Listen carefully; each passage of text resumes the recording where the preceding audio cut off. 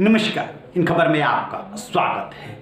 2019 के लोकसभा चुनाव के दौरान कांग्रेस नेता राहुल गांधी द्वारा कर्नाटक के कोलार में दिए गए बयान पर उन्हें दो साल की कल सूरत की कोर्ट ने सजा सुना दी। जैसे ही ये ऐलान हुआ, वैसे ही हड़कंप मच गया। कांग्रेस ने अलग बैठक बुला करके अपनी रणनीति बनानी शुरू की कि कैसे फ्रंट फुट पर आ करके इस मुद्दे पर खेलेगी, राष्ट्रपति को ज्ञापन देगी देश भर में धरना प्रदर्शन करेगी और बीजेपी ने अपनी दूसरी रणनीति बना ली और उसके बाद आ गया स्पीकर का फैसला। राहुल गांधी की चली गई सांसदी, यानी कि अब वो लोकसभा सदस्य नहीं रहे, हो रहा है हंगामा, कांग्रेस की मीटिंग। सबसे बड़ा सवाल ये है कि राहुल गांधी कितने दिन अब चुनाव नहीं लड़ पाएँगे?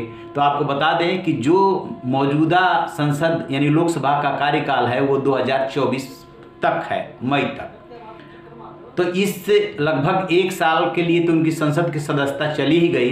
लेकिन यदि ये दो साल की सजा बरकरार रहती है तो फिर अगले छः साल तक छः दो आठ साल तक वो चुनाव नहीं लड़ पाएँगे। दूसरा सवाल, क्या राहुल गांधी अपील में जाते हैं और सेशन कोर्ट से बरी हो जाते हैं? उस केस में क्या होगा? या जो कन्विक्शन हुआ है, उस पर स्टे लगता है, उस केस में क्या होगा? या स्पीकर ने जो नोटिफिकेशन जारी किया है, वो कैसे रुक सकता है? तो देखिए 2013 में Lily Thomas versus Union of India में एक फैसला आया था, जिसमें लोक प्रतिनिधित्व अधिनियम उन्नीस सौ इक्यावन की धारा चार को रद्द कर दिया गया था। यानी कि जो तीन महीने का टाइम मिलता था कि तीन महीने तक आपकी सदस्यता बनी रहेगी, वो रद्द हो गया था। इसका मतलब ये साफ़ है कि जैसे ही फैसला आता है, वैसे ही आपकी सदस्यता चली जाती है। नोटिफिकेशन स्पीकर के द्वारा जारी करना एक औपचारिकता है, वो भी औपचारिकता पूरी कर ली गई है। दूसरा सवाल क्या हाई कोर्ट या सुप्रीम कोर्ट उस पर स्टे लगा सकती है? तो इस सवाल का जवाब दिया है वरिष्ठ वकील हैं सिद्धार्थ लुथरा कि कैसे बाद में लोक प्रहरी के मामले में फैसला आया, वो क्या कहता है? इस सवाल का जवाब सुनिए उन्हीं की जुबानी। 2024 का चुनाव। देखिए, अगर गांधी साहब 2024 का चुनाव लड़ना चाहेंगे तो उनको जल्द ही अपील दाखिल करनी पड़ेगी। अपील दाखिल करने का समय है उनके पास। अपील दाखिल करने के बाद उनको स्टे ऑफ़ कन्विक्शन जो उन पर जजमेंट आई है, सज़ा की उस पर स्टे लेनी पड़ेगी। ये नहीं कि सिर्फ़ बेल मिले, पर कन्विक्शन पे स्टे मांगनी पड़ेगी। और अगर उनको मिल जाती है तो फिर वो चुनाव लड़ सकेंगे। लेकिन इस सदस्यता का क्या होगा जो अगर कन्विक्शन पर हो जाता है तो क्या सदस्यता बहाल हो सकती है? देखिए अब यही इसमें एक इंटरेस्टिंग चीज़ मैं आपको बताना चाहूँ कि लिली थॉमस की एक जजमेंट थी और उसके बाद 2018 में लोक प्रहारी आई।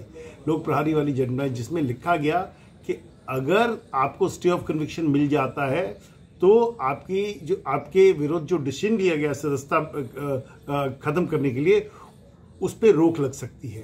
तो ये एक एरिया है जिसमें लोक प्रहारी में एक नया नई ओपनिंग सी उनको मिल गई है कि वो जजमेंट फिर इफ़ेक्ट पे वो जो सजा अगर स्टे हो गई तो फिर उनकी डिस्कालिफिकेशन इफ़ेक्ट नहीं लेगी। तो ये जो चीज़ है, इस चीज़ का फ़ायदा वो उठाना चाहेंगे, लेकिन एक बार ये नोटिफिकेशन हो गई, इनको फिर मेरे हिसाब से जाना पड़ेगा तो स्पीकर के पास कहने के लिए कि देखिए साहब, अब मेरी स्टे हो गई, ये वापस लिया जाए।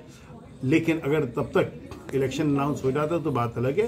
पर वो जा सकते हैं और अगर वहाँ नहीं तो फिर वो कोर्ट जा सकते हैं कि जो मेरी नोटिफिकेशन आई है उस पर रोक लगाई जाए। इसके लिए कोई टाइम फ्रेम है क्या कि कब तक जा सकते हैं या क्या कुछ तीस दिन नब्बे दिन कुछ ऐसा देखिए ऐसा है अपील अगेंस्ट एक्विटल मैजिस्ट्रेट की कोर्ट से हो तो उसमें तीस दिन का समय मिलता है उनके पास तीस दिन का समय है सेशन जो कोर्ट जाने के लिए। सर कितने दिन को कितने दिन के लिए अगर मान लीजिए सदस्यता चली गई तो दो साल की सजा है उसके बाद कितने दिन तक नहीं लड़ सकते? अगर उनकी सजा कानून में ये लिखा है कि अगर दो साल की सजा है तो जब वो सजा पूरी होती है, अगर स्टे ऑफ़ कन्विक्शन नहीं मिलता तो उसके बाद छह साल और ये डिस्कालिफिकेशन चलती है। लेकिन अभी ना सजा शुरू हुई है बेलेबल ऑफेंस है बेल उनका हक है। तो इसलिए वो अप्लाई नहीं करेगी। दूसरी चीज़, अभी अपील है। अपील के बाद हाई कोर्ट में रिवीजन है। रिवीजन के बाद सुप्रीम कोर्ट में एसएलपी है। तो अभी इनके पास कई स्टेप्स हैं। मतलब ये सदस्यता खत्म होने के बाद लोकसभा सचिवालय से ये चाहें तो स्टे लेने के बाद फिर ये लोकसभा अध्यक्ष से अपना वापस ले सकते हैं। और ये और ये 2024 का इलेक्शन लड़ सकेंगे अगर इनको स्टे ऑफ़ कन्विक्शन मिल गया। मिल गया तो। सर इंग्लिश में इंग्लिश हाँ, आपने वो ये कह रहे हैं कि ये तभी संभव है कि एक तो होता है कि आपकी सजा रोकी जाए कन्विक्शन को रोकना होगा। क्या होता है किसी भी क्राइम के मामले में? एक होता है कि आप इस धारा के तहत दोषी ठहराए जाते हैं। उसको कन्विक्शन बोलते हैं। दोष सिद्धि हो गई। फिर क्वांटम ऑफ़ पनिशमेंट तय होता है। तो उस कन्विक्सन को रोकना होगा और फिर हाई कोर्ट को कहना होगा कि स्पीकर का जो नोटिफिकेशन है, वो भी रद्द किया जाता है या उस फैसले के आलोक में राहुल गांधी और कांग्रेस स्पीकर के यहाँ प्रतिवेदन दे कि अब हमारा वो कन्विक्शन रोक दिया गया है हाई कोर्ट से, लिहाजा आप अपना नोटिफिकेशन वापस ले, तब ये संभव हो सकता है।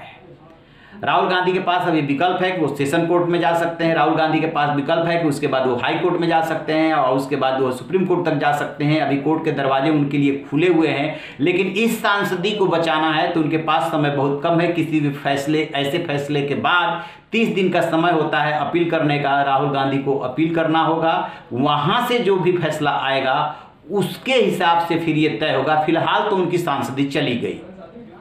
रहिए बेखबर, देखते रहिए इन खबर। Thank you